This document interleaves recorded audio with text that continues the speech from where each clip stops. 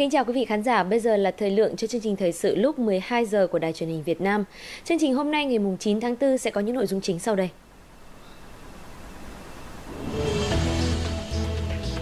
Ngành công nghiệp hỗ trợ của Việt Nam sẽ chịu ảnh hưởng như thế nào khi các hiệp định thương mại đa phương như TPP và EVFTA có hiệu lực? Câu trả lời sẽ có trong chương trình thời sự hôm nay. Bùng nổ thị trường hàng không Việt Nam gây sức ép cho cơ sở hạ tầng và tạo ra sự cạnh tranh khốc liệt hơn khi Việt Nam đã tham gia vào bầu trời mở ASEAN.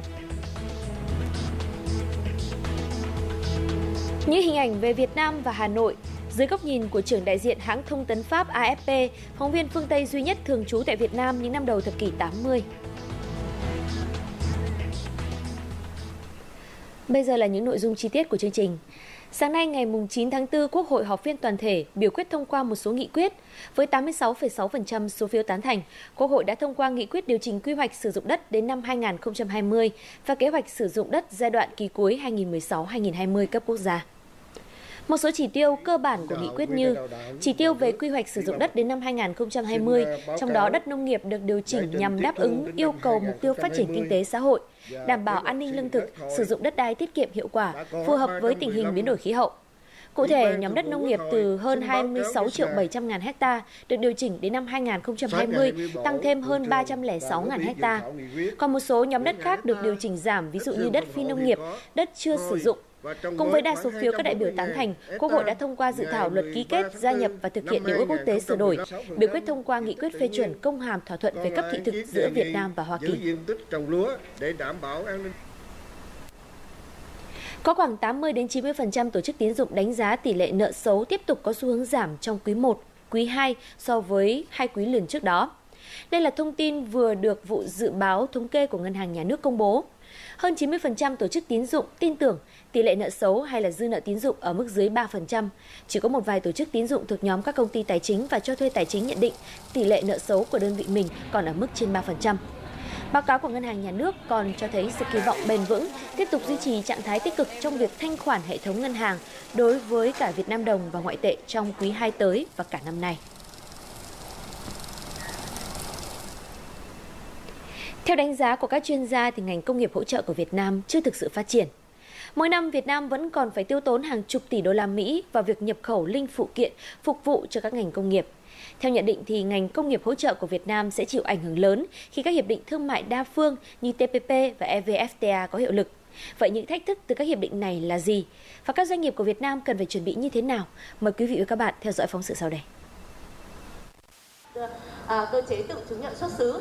Triển lãm quốc tế về công nghệ chế tạo phụ tùng công nghiệp lần thứ 8 được tổ chức tại Hà Nội, thu hút sự tham gia của rất nhiều doanh nghiệp trong lĩnh vực công nghiệp hỗ trợ nước ngoài, đặc biệt là các doanh nghiệp Nhật Bản. Họ đến đây để tìm kiếm khách hàng là các doanh nghiệp sản xuất đang hoạt động tại Việt Nam. Ngành công nghiệp hỗ trợ của Việt Nam được đánh giá là chưa phát triển và các doanh nghiệp nước ngoài đang tận dụng cơ hội này. Số lượng doanh nghiệp Nhật Bản tại Việt Nam có nhu cầu về khuôn đúc đang tăng lên. Vì thế, doanh thu của công ty chúng tôi cũng ngày càng tăng theo. Việt Nam đang thu hút rất nhiều doanh nghiệp nước ngoài trong lĩnh vực sản xuất, nhưng Việt Nam chưa có ngành công nghiệp hỗ trợ tương xứng. Vì sao tôi lại nói như vậy? Theo tôi, thì Việt Nam hiện giờ mới chỉ đang là trung tâm gia công. Nguyên liệu, linh phụ kiện vẫn phải nhập ở các nơi khác về, rồi lắp ráp ở Việt Nam. Việt Nam đang trong quá trình ký kết và phê chuẩn các hiệp định thương mại như TPP và EVFTA. Một khi các hiệp định này có hiệu lực, rất nhiều loại linh phụ kiện sẽ được miễn thuế nhập khẩu khi đó, các doanh nghiệp sản xuất có thể dễ dàng lựa chọn linh phụ kiện từ các quốc gia là thành viên của hiệp định. Điều này gây ra áp lực lớn cho các doanh nghiệp công nghiệp hỗ trợ Việt Nam. Vốn dĩ chưa phát triển, nay lại phải chịu thêm nhiều cạnh tranh hơn nữa từ các doanh nghiệp nước ngoài. Các doanh nghiệp Việt Nam chủ yếu là các doanh nghiệp nhỏ, do là chúng ta vẫn chỉ làm cái mảng hất ván là gia công thôi, mà chúng ta chưa đầu tư thực sự vào các cái ngành công nghiệp phụ trợ để phục vụ ngay cho bản thân các cái doanh nghiệp lớn ở trong nước hoặc là xuất khẩu đi. Do đó là trong thời gian tới khi mà chúng ta mở cửa thị trường theo TPP hay EVFTA chúng ta xóa bỏ thuế quan đối với rất nhiều các sản phẩm điện tử bao gồm trong đấy là các cái sản nguyên liệu linh kiện phụ tùng điện tử thì nó sẽ là một cái áp lực lớn cho các doanh nghiệp Việt Nam. Theo các chuyên gia, doanh nghiệp công nghiệp hỗ trợ Việt Nam vẫn còn thời gian để chuẩn bị nhằm tận dụng được những ưu đãi do các hiệp định thương mại mang lại. Bên cạnh đó, doanh nghiệp cũng cần chủ động nâng cao năng lực sản xuất chất lượng sản phẩm, kỹ năng quản trị để có thể tham gia sâu hơn vào chuỗi giá trị sản xuất toàn cầu. Số lượng ô tô bán ra trong tháng 3 vừa qua ở Việt Nam đã tăng 112% so với tháng trước, với 25.000 chiếc xe đã được bán ra. Hiệp hội các nhà sản xuất ô tô Việt Nam cho biết lượng xe bán ra chủ yếu là xe du lịch và xe thương mại. Tính chung trong 3 tháng đầu năm nay, thị trường ô tô Việt Nam tăng trưởng nhanh và đồng đều với gần 60.000 xe đã được tiêu thụ. Trong đó, người tiêu dùng có xu hướng chọn xe sản xuất lắp ráp trong nước hơn là xe nhập khẩu. Doanh số bán hàng của xe lắp ráp trong nước đã tăng 55%, trong khi xe nhập khẩu giảm 36% so với cùng kỳ năm ngoái. Thưa quý vị, chỉ trong một thời gian ngắn thì Bộ Giao thông Vận tải đã liên tục đề xuất xin cấp phép thành lập hai hãng hàng không mới. Đã có nhiều câu hỏi, thậm chí là tranh cãi xung quanh những đề xuất này. Liệu việc cho ra đời hai hãng hàng không mới có gây sức ép hơn nữa cho hạ tầng vốn đã quá tải trong thời gian qua? Các hãng hàng không mới này sẽ chịu sự cạnh tranh như thế nào khi mà Việt Nam đã tham gia vào bầu trời mở ASEAN? Câu trả lời sẽ có trong phóng sự sau đây. Liên tục giảm giá vé, rẻ hơn cả vé tàu và vé xe ô tô, thậm chí vé không đồng. Người dân được hưởng lợi, nhưng đằng sau đó là những cuộc cạnh tranh khốc liệt về giá vé giữa các hãng hàng không giá rẻ. Hai hãng hàng không mới liên tiếp xin cấp phép, nghĩa là tới đây hàng không giá rẻ sẽ tăng thêm sức cạnh tranh. Việt Nam đã tham gia thực hiện cái chính sách à, mở cửa bầu trời, tự do hóa bầu trời của ASEAN và cũng chính thức từ cái thời điểm đó thì Việt Nam không còn khống chế về số lượng giấy phép kinh doanh vận tải hàng không nữa thì có nghĩa rằng đất nước chúng ta không phải là dừng lại ở 5 hãng không mà tới đây có thể là 10 hãng không và có thể nhiều hơn. Người tiêu dùng có nhiều sự lựa chọn chuyến bay, có cái sự lựa chọn về giá vé, có cái sự cạnh tranh trong cải thiện chất lượng dịch vụ. Thêm hai hãng hàng không mới không chỉ là việc cạnh tranh mà một vấn đề khác, liệu hạ tầng có đáp ứng được khi mà bấy lâu nay vẫn được cho là quá tải.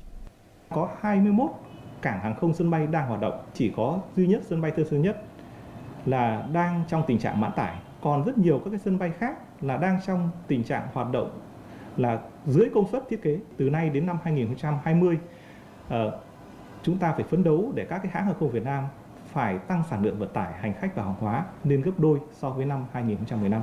Và như vậy thì cái việc cấp thêm giấy phép cho các hãng hàng không là rất cần thiết.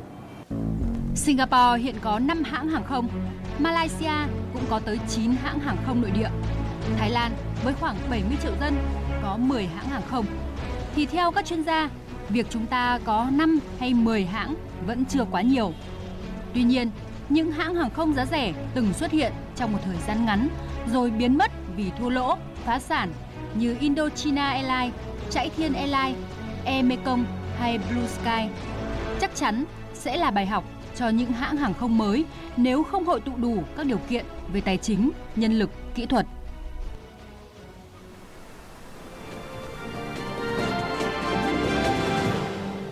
Chương trình sẽ tiếp tục với những tin tức đáng chú ý.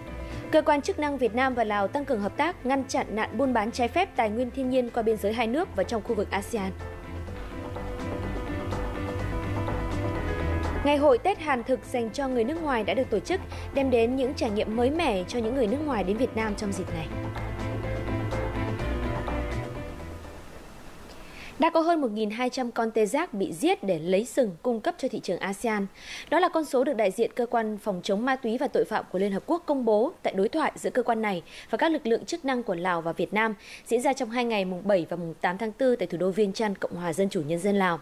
Hội thảo mang chủ đề Lào, Việt Nam tăng cường ứng phó với nạn buôn bán tài nguyên thiên nhiên qua biên giới.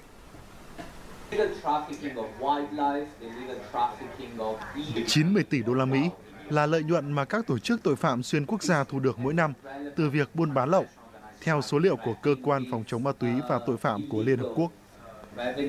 Khoảng một phần tư con số này là do buôn lậu tài nguyên thiên nhiên, đặc biệt liên quan đến buôn lậu gỗ, động vật hoang dã quý hiếm. Theo Liên Hợp Quốc, ASEAN hiện là một trong những điểm nóng về tình trạng buôn bán tài nguyên thiên nhiên, chủ yếu là động vật hoang dã và gỗ. Số lượng tê giác châu Phi đã bị giết và lấy sừng để cung cấp cho khu vực Đông Nam Á đã tăng từ 13 con vào năm 2007 lên khoảng 1.200 con vào năm 2015. Đó là một con số thật sự gây sốc. Nguyên nhân đằng sau đó là do sự hiểu nhầm về tác dụng y học của sừng tê giác. Nhiều người tin rằng sừng tê giác có thể tiêu diệt được ung thư cũng như nhiều bệnh khác. Nhưng rõ ràng là chẳng có một minh chứng khoa học nào cho thấy sừng tê giác có thể mang lại lợi ích về mặt sức khỏe cho người dùng. Nó cũng giống như việc sử dụng chất sừng ở móng tay hay tóc. Trong thời gian qua, lực lượng chức năng của các nước ASEAN đã phát hiện và bắt giữ nhiều vụ vận chuyển, buôn bán trái phép động thực vật hoang dã và gỗ hiếm liên quốc gia. Tại cuộc đối thoại, các đại biểu cho rằng các quốc gia có chung đường biên giới như Lào và Việt Nam cần phối hợp chặt chẽ nhằm giảm các thủ tục trồng chéo để nâng cao hiệu quả ngăn chặn nạn buôn bán trái phép tài nguyên thiên nhiên.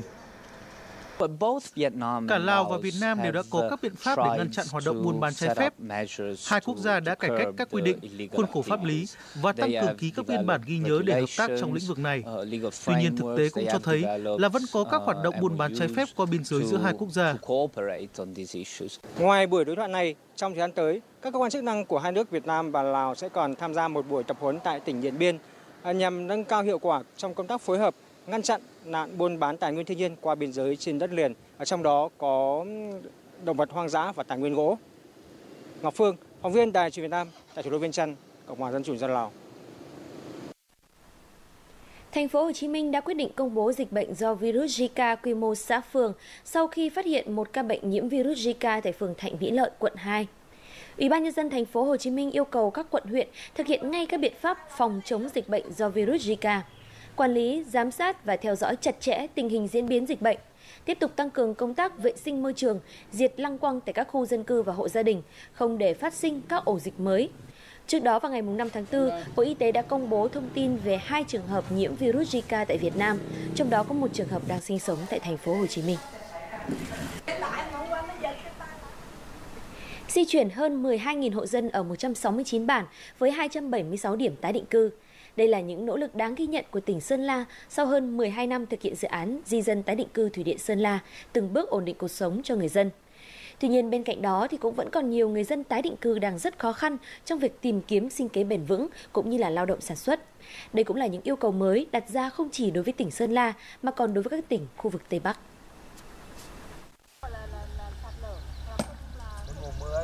Bảng Phiên Nền, xã Mường Giảng, huyện Quỳnh Nhai sau 7 năm chuyển sang nơi ở mới, hơn 100 hộ dân vẫn đang loay hoay kiếm việc làm, ổn định cuộc sống. Thanh niên trong bản thì đi làm thuê xa, phụ nữ trẻ em vì nghèo đói, không có điều kiện đi học thì đi phá núi lấy đá. Những người phụ nữ trong bản giờ còn biết dùng xẻ beng để bẩy đá, cũng bởi họ không có sự lựa chọn nào khác. Giờ đời sống khó khăn lắm, phải đi làm thuê, Ngày chỉ vài chục ngàn thôi, nhưng chỉ đến vụ mới làm. Nhiều khi không có tiền để ăn. Thiếu đất sản xuất, lại khó khăn trong chuyển đổi cơ cấu ngành nghề.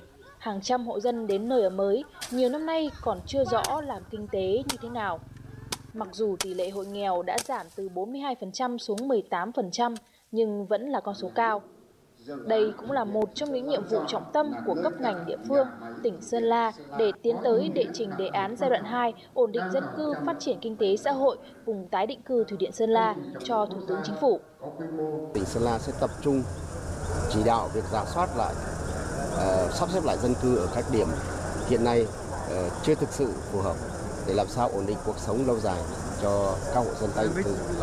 Việc thứ hai là tập trung lãnh đạo chỉ đạo Ờ, trong việc phát triển mô hình nông nghiệp ứng dụng công nghệ cao và kịp thời giải quyết những khó khăn vướng mắc, những kiến nghị của người dân tái định cư để làm sao tổ chức triển khai thực hiện ổn định đời sống và thực sự tạo điều kiện thuận lợi cho bà con có cuộc sống tốt hơn trong thời gian tới.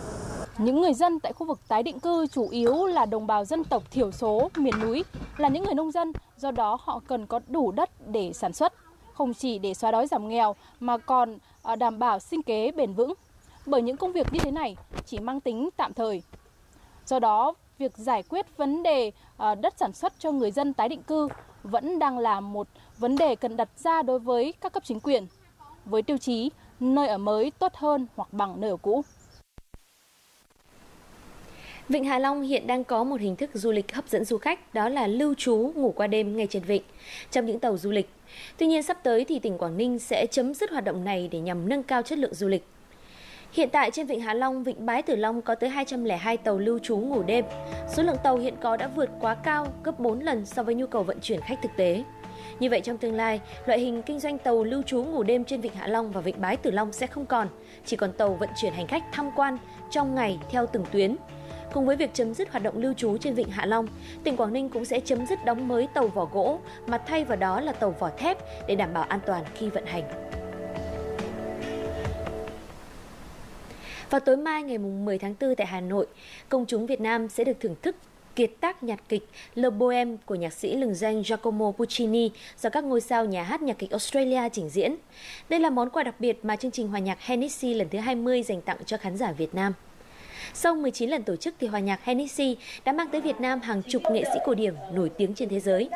Năm nay kỷ niệm 20 năm chương trình, việc giới thiệu vở nhạc kịch lừng danh Le Bohème được xem là đêm trình diễn quy mô lớn nhất từ trước tới nay khi mang tới Việt Nam một vở nhạc kịch hoàn chỉnh với toàn bộ sân khấu, âm nhạc, nghệ sĩ đến từ nhà hát nhạc kịch Australia.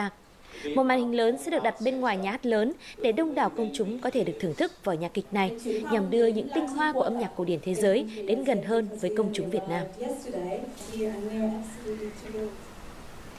Thưa quý vị, Việt Nam những năm 80 là tên của triển lãm ảnh vừa khai mạc tối ngày 8 tháng 4 tại Trung tâm Văn hóa Pháp L'Espace tại Hà Nội. Triển lãm đưa người xem trở lại miền ký ức của những năm tháng gian khó khi mà nhân dân Việt Nam vừa mới trải qua chiến tranh và đang nỗ lực để xây dựng đất nước. Những hình ảnh hiếm có về một Việt Nam, một Hà Nội rất đối bình dị và thân thương đã được ghi lại qua góc nhìn của nhà báo Michel Blanca, trường đại diện hãng thông tấn Pháp AFP, phóng viên phương Tây duy nhất thường trú tại Việt Nam những năm đầu thập kỷ 80. Hà Nội 1983 Em Phong một ngày mùa hè Cậu bé Phong 4 tuổi ngồi tắm trong chiếc xô nhỏ trên vỉa hè ngày nào, giờ đã là cha của hai đứa trẻ. Anh và nhiều cô cậu bé trên phố Phùng Khắc Khoan khi đó vẫn lưu lại ký ức về một người hàng xóm nước ngoài rất thân thiện và thích chụp ảnh. Đó là phóng viên Michel Blanchard. Cái lúc ông ấy ờ, đi về, ông ấy gặp là ông ấy trẻ con cái xà vào ông là ông chụp ảnh. Ông chụp rất nhiều ảnh, sau ông đã gửi ảnh cho. Hiện tại mình còn lưu rất rất nhiều ảnh. Tôi rất may mắn khi có mặt tại Việt Nam trong giai đoạn đó, khi mà đất nước vẫn còn chưa mở cửa, cuộc sống còn rất khó khăn. Rất ít phóng viên nước ngoài có thể đến Việt Nam lúc đó. Những bức ảnh là kỷ niệm không thể quên về đất nước và con người Việt Nam. Nhưng tôi không muốn giữ cho riêng mình nữa, tôi muốn chia sẻ với tất cả mọi người. Những chiếc tàu điện len keng phố cổ Phiên chợ hoa ngày hình ảnh người dân chờ hứng nước bên hồ Trúc Bạch hay ngồi thư giãn tại một quán cà phê vỉa hè. Những con đường, góc phố và cuộc sống đơn sơ thanh bình của người dân Hà Nội những năm 80. Rất nhiều hình ảnh thân thương giờ chỉ còn trong hoài niệm. Những cái bức ảnh này nó rất là có giá trị về mặt lịch sử. Đấy.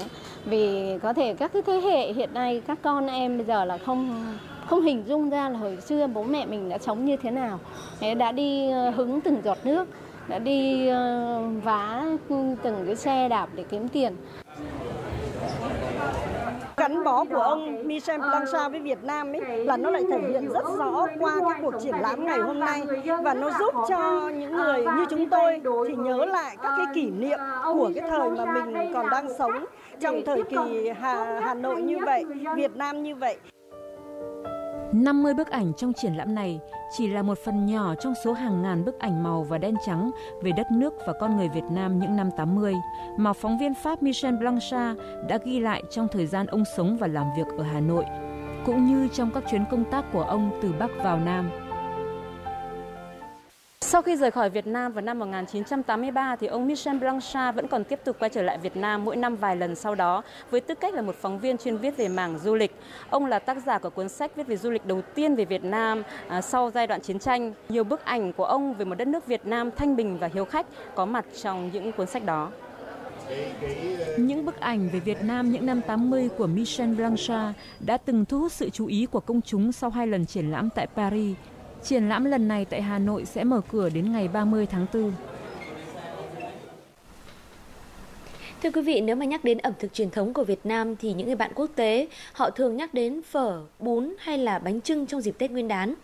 Bánh trôi, bánh chay và ngày Tết Hàn thực chính vì vậy mà có thể xem là một trải nghiệm mới mẻ đối với những người nước ngoài đến Việt Nam trong dịp này.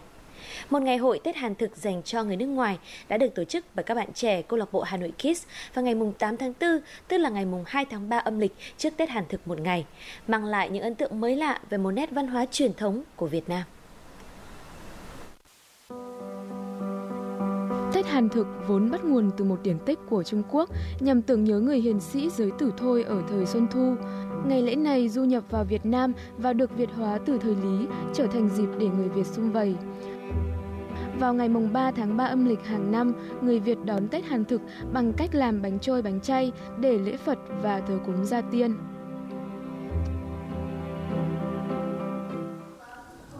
Tinh thần của ngày Tết Hàn thực đó đã được truyền đến những người bạn nước ngoài trong ngày hội trải nghiệm Tết Hàn thực. Naomi Phang là du khách người Úc. Đây là lần đầu tiên Naomi đến Việt Nam và cũng là lần đầu tiên cô biết đến Tết Hàn thực. Tôi thấy công đoạn khó nhất khi làm bánh trôi là phải đảm bảo rằng bột không bị vỡ vụn ra và viên đường sẽ phải ở bên trong. Đây là một trải nghiệm rất mới lạ với tôi vì tôi có cơ hội để biết thêm một điều mới về văn hóa Việt Nam.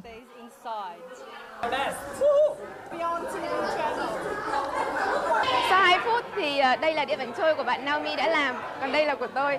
Um, Naomi thì ờ, mặc dù đây là lần đầu tiên Naomi làm bánh trôi nhưng mà cô ấy có thể làm tốt như một người Việt Nam thực thụ. Còn với chị Ezra, đây là lần thứ ba chị đến với Việt Nam. Tuy nhiên với trải nghiệm làm bánh trôi bánh chay này, chuyến đi của chị mang thêm nhiều màu sắc mới lạ. Trước đây tôi không hề biết gì về Tết Hàn thực. Vì vậy, đây là một cơ hội để chúng tôi không chỉ hiểu về ngày lễ này mà còn để biết làm món ăn truyền thống của ngày này. Tôi đến Việt Nam cùng hai con trai tôi và tôi hy vọng sau trải nghiệm này chúng sẽ hiểu hơn về văn hóa Việt Nam. À, người nước ngoài ở ở Hà Nội họ à, thấy rất là thích thú với cả những món ăn truyền thống của Việt Nam và họ không hiểu hết được những tầng ý nghĩa ở trong đấy. Và chúng mình thấy là nếu mà để làm một ngày gì đó và có thể có cho cơ hội cho khách nước ngoài trải nghiệm tự bản thân họ làm món ăn Việt Nam đấy là một cách ghi nhớ những à, ý tưởng văn hóa của Việt Nam nhiều hơn cho nên là chúng mình đã chọn Không chỉ được học làm bánh trôi bánh chay, những người bạn quốc tế khi đến với ngày hội trải nghiệm Tết Hàn thực còn được giới thiệu về ý nghĩa của ngày Tết này.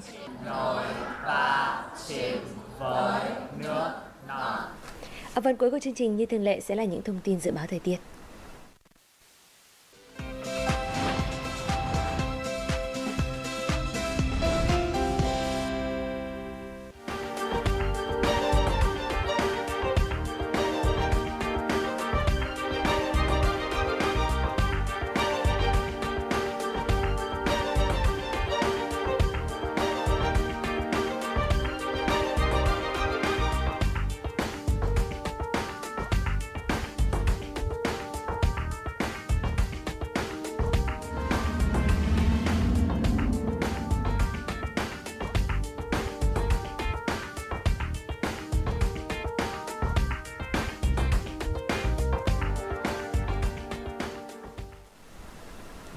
Chương trình thời sự của Đài truyền hình Việt Nam đến đây là kết thúc. Cảm ơn quý vị khán giả đã quan tâm theo dõi và quý vị đừng quên truy cập vào website vtv4.vn và kênh YouTube để theo dõi lại chương trình. Kính chào tạm biệt và hẹn gặp lại quý vị.